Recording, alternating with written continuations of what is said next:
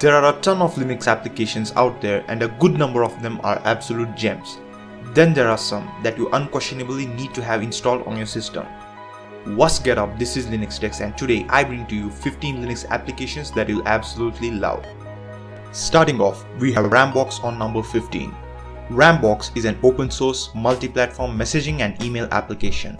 What makes Rambox unique is it supports more than 100 messaging and email services in the free edition.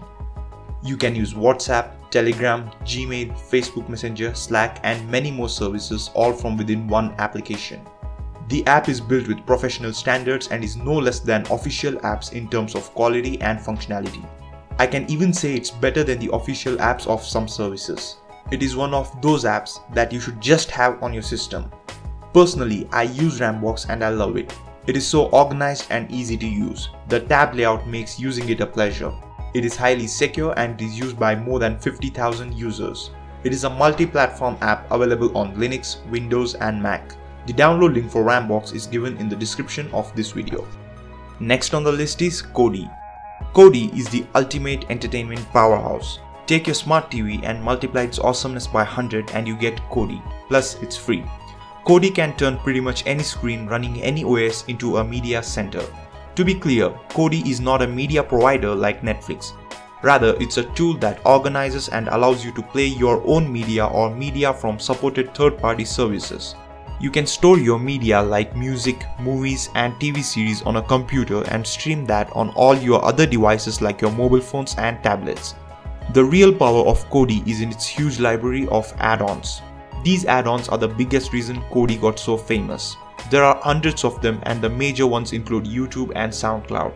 These add-ons greatly enhance what Kodi can do by allowing access to vast libraries of media like TV shows and radio. Kodi add-ons have great content with many add-ons offering TV services, movies and music. Installing these add-ons is really easy. The possibilities with Kodi are just limitless. You can download and install Kodi from the default software store on your Linux distro. I personally recommend that you check out Kodi. Number 13 on the list is Stacer. Stacer is a system cleaner and optimizer built for Linux. Stacer has a straightforward interface. It has a clean dashboard which shows the system status in terms of resource usage. Stacer allows you to scan your computer for different kinds of junk files and clean them. You can manage the applications that automatically start at boot up from Stacer, which I think is a great feature if you have a lot of applications running. You can also manage the system services from Stacer. It also provides you with a minimal yet informative monitor for CPU and memory usage. In my opinion, Stacer is not something that you need every day, but running it to monitor the health of your system and to optimize it once a month is a really good practice. You can download and install Stacer using the link given in the description of this video. As a long-time bookworm, I have experimented with a number of software to read books on my PC, including some Windows software. And I must say, Calibre is just a perfect match for me. Calibre is not just an ebook reader but also a great tool to manage ebooks on PC. It supports pretty much any ebook format there is, Calibre has a simple interface, a great font rendering and highly flexible options to customize your reading experience. I read a lot of my ebooks using Calibre and I'm really satisfied with it. When you compare paid ebook managers, you'll see that Calibre is on the same level with no price tag though. Calibre also allows you to design and create ebooks. In fact, Calibre is the most powerful tool for ebook creation on Linux. And if you need to convert an ebook from one format to another, yep, Calibre can do that too. Calibre can be installed from your software store. On number 11, we have Timeshift. Timeshift is one of those apps that should come pre-installed on all the Linux distros. Timeshift is the ultimate backup and recovery tool for Linux. Timeshift is so powerful that even if you delete the entire operating system away, you can still restore the whole thing and it will work flawlessly. For someone like me who messes around with the system a lot, Timeshift is a must-have. Timeshift is very easy to use. Using it, you can take full snapshots of your system and then you can restore that snapshot in case something goes wrong with your system. Usually, once I install an OS, I install all the drivers, all my day-to-day -day apps and then configure it according to my needs, after which I make a backup with Timeshift. Now let whatever happen to my OS, I can always roll back to a completely working state. It also allows me to explore and experiment with Linux without fear. Timeshift can also automatically make daily and weekly backups of your system so that's an added bonus. There is no excuse for not having a backup. The link to the guide video that explains the installation and usage of Timeshift is given in the description of this video. Do check it out. If you're running the GNOME desktop environment, then GNOME Tweak tool is an absolute must-have. GNOME is a great desktop environment which can be customized to a high degree and GNOME Tweak tool makes this customization work really easy. The Tweak tool is extremely powerful and has a wide variety of options that can change the basic working of your desktop. You can modify even the smallest detail of GNOME desktop here. All the options are laid out in an organized manner and even the complexities are represented in an easy to understand manner. You can change the themes, icons, cursors, modify the fonts to your liking, change the keyboard and mouse behavior. The top bar can be reworked from here. The window's appearance and behaviors can be changed extensively from here. To top it all off, the Tweak tool also acts as the extension manager. From here, you can manage and adjust all the extensions installed. If you like my desktop, I should let you know that I've customized that using this Tweak tool. There are a number of really powerful audio video editors available for Linux, and Kdenlive Live is number 9 on this list because of its simplicity while also being power packed. If you need something simple, something that doesn't need you to watch tons of tutorials on YouTube to edit a simple birthday video, then Kdenlive Live is for you. Now don't get me wrong, Kdenlive Live is not something that just cuts and pastes videos together. It is a full-fledged video editor with support for a wide range of video and audio formats. It has a simple multi-track editing setup. Kdenlive has a pre-built library of many animations, effects and transitions that are up to date and can be used in professional grade videos. Kdenlive uses proxy editing, so you can use it on even slightly lower end computers on which generally other editors crash. If you are going to spend a lot of time editing then Kdenlive has a very customizable and themable interface allowing you to make Kden look the way you like. Personally, I use Kdenlive to make all these YouTube videos. I've tried many editors but I always come back to Kdenlive. On number 8 we have Synaptic. Synaptic is a software manager that you can install and use on Ubuntu and Debian and the derivatives. If you don't like the way the software store on Ubuntu looks, and if you're not really into all the Snap apps that the store has, Synaptic offers you higher control over package management and no Snap apps. To begin with, Synaptic is a power tool. It has no glitter. It has an old-fashioned find packages and install packages workflow. What more does Synaptic offer other than what is available in the software store? You can find and fix broken packages with a single click. Same with the missing recommends. Using it, you can clean out orphan packages. You can browse software using variety of filters such as category of apps, package status, origin and a lot more. All these give you a fine control over packages and help you solve package related issues very easily. And Snap apps are completely absent from Synaptic and that itself is a reason good enough for me to use Synaptic. You can install Synaptic by opening a terminal and running sudo apt install synaptic. VLC is a video player that needs no introduction. VLC is probably the best video player out there. VLC has been around for a long time. Many competitors have come and gone, but no one has been able to challenge the throne of VLC. VLC is just that good. Firstly, VLC is a very old software with valuable experience. Now to talk about the features of VLC, if a media format exists, then VLC can play that. Not many media players can claim to have this capability. VLC is a free and open source project with no spyware, no ads and no user tracking.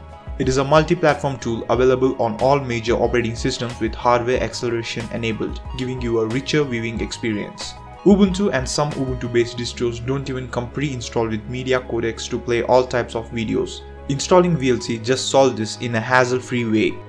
VLC offers both simplicity as well as a superior control.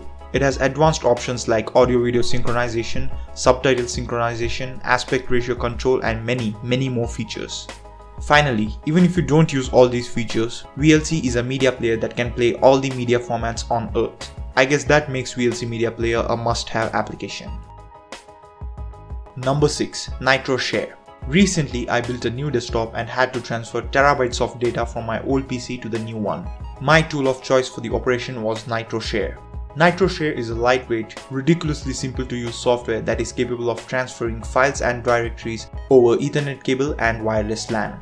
NitroShare is a multi-platform app that works on Linux, Windows, Mac and Android, and it allows cross-platform file sharing. This makes sharing files between my PC and my phone so easy. NitroShare is really easy to use. You start the NitroShare clients on both the sender and receiver device and make sure they both are connected to the same network. Then you select the files that you need to send and select the receiver. Done. For anyone that needs to send and receive files wirelessly, NitroShare is a must-have because wires are so 2018. Next, we have Chromium browser. Google Chrome might be the world's most used browser but Linux users in general are more privacy conscious and understand that Chrome browser sends a lot of personal data over to Google's servers. And the fact that Chrome isn't open source doesn't help either. So we have a look at Chromium browser today. Chromium browser can be looked at as the mother of Chrome browser. As far as the interface and usage is concerned, Chromium is pretty much the same thing as Chrome. Chromium 2 uses your Google account to sync your stuff up with your Android device. It is fast, fully compatible with all the Chrome extensions and provides a great web browsing experience that is similar to what you get on Chrome. Talking about the advantages. Chromium is fully open source. It doesn't send usage statistics to Google servers the way Chrome does. Data collection is very limited on Chromium browser, so you get the Google ecosystem advantages plus a better privacy. Chromium gets newer features and innovations much before they make it into Chrome browser, you can install Chromium browser from the software store on all the Linux distros. On number 4, we have GIMP. Whether you need to crop your pics for Insta upload or need to retouch the smudge on the wall behind you, GIMP can do it all. GIMP, which stands for GNU Image Manipulation Program, is a free software that is basically Photoshop for Linux. GIMP has a number of advanced as well as simple tools that provide a great environment for image editing and image manipulation. What you can do using GIMP is only limited by your own imagination. There are tons of tutorials and learning resources on the internet that will help you get good with GIMP. GIMP has an active development with feature-packed updates being released very regularly. These updates keep GIMP on the same level as its paid alternatives such as Photoshop. And did I mention GIMP is free? You can download and install GIMP from the software store. Mega offers 50 GB of free cloud storage per account and it has an official client for Linux. Mega is really straightforward to use with no advertisements, and since it provides 50 GB even for the free tier, it's a great backup solution for the important stuff. Mega conveniently creates a folder called MegaSync on your PC. Anything you put there will be automatically synchronized with the cloud and any other PC that is connected to that account. This can simplify things a lot if you use multiple computers like at work and at home. I absolutely love this feature. Mega has high security and fast transfer speeds. It is a reliable service with end-to-end -end encryption implemented out of the box. Mega is a star choice for personal as well as business use. Number 2 on the list is Simple Note. Simple Note, well, is a very simple note-taking app with no additional glittery stuff. Simple Note takes and saves notes and if you have multiple devices then syncs your notes across all devices. SimpleNote is a free and open source application and there are no premium and paid subscriptions and no ads too. SimpleNote is available on Linux, Windows, Mac, Android and iPhone. For me, SimpleNote is an amazing app. As a creator, it allows me to jot down notes and ideas on my phone pretty much anywhere, anytime. As soon as I get home and start my PC, those notes are made available there for me to continue working on them. SimpleNote is very organized with tags available to help you keep things sorted. There is also a quick search to speed things up. Simple Note has pretty good sharing features which makes it a great tool for communication between teams, project members and family. You can download Simple Note from the link given in the description below. And finally, the number one spot on this countdown is taken by Steam. Steam revolutionized gaming on Linux. Before Steam, gaming on Linux was not really recommendable. As of today, Steam has a huge catalog of games for Linux. Counter-Strike, Rocket League, Team Fortress 2, Borderlands are all brought right to your Linux PC through Steam. Steam recently has released a feature called Proton, using which you can pretty much play any Windows-only games like Fallout Shelter, Doom, Battlefront 2 and more on Linux too. Whether you are a hardcore gamer playing seriously or want to play something casual on Linux, Steam has got you covered. And the prices of games are also really good you can get major games at really low prices on offer days. I highly recommend Steam as it opens up a whole new avenue of entertainment on Linux. If you would like to see videos on Linux gaming topics, do let me know in the comments below. Well, that's it for today. If you like this video, do consider subscribing to my channel for more Linux videos. This is Linux Tex signing out.